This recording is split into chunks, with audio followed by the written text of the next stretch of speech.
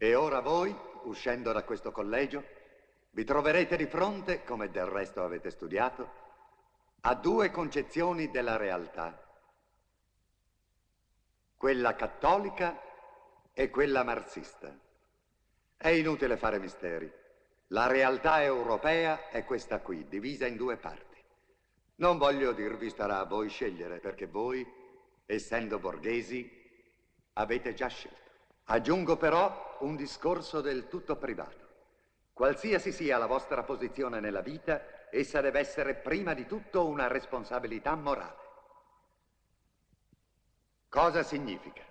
Significa che la storia degli uomini, ciò che ha portato l'uomo fino a questo punto, è sempre stato frutto di una scelta morale, di un impulso del cuore.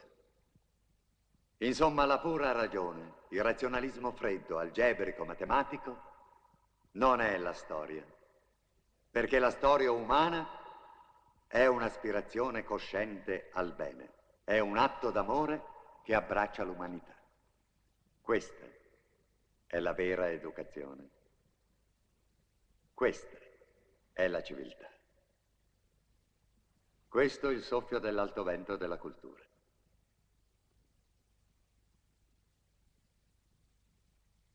Questa è la libertà.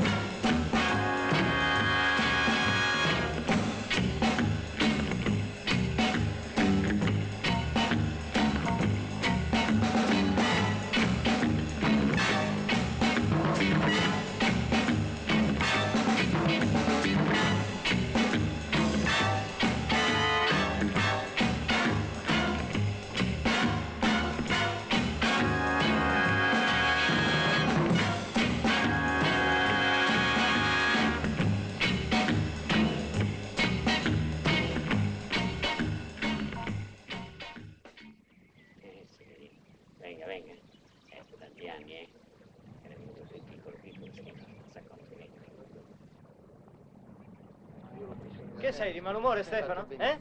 Torniamo alla vita, alle donne! Basta con questa alma mater, siamo liberi! Non parlare latino che mi fai schifo. Auguri, Stefano! Ciao! Ce l'abbiamo fatta.